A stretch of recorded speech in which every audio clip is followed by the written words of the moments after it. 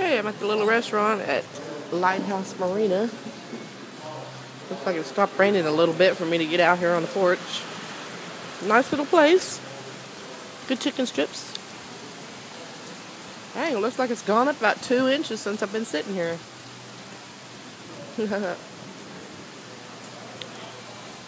Guess that gives it new meaning to house on the lake, doesn't it? There's a house on the lake way over there. She said they usually have a floating bar. Oh. Not this week. Probably couldn't get to it. Anyway, it's still flooded. Nowhere to go fishing.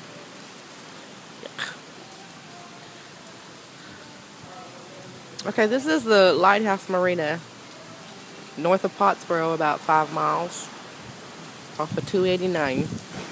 Nice place.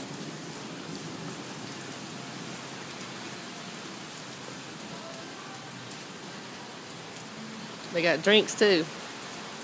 Alcohol.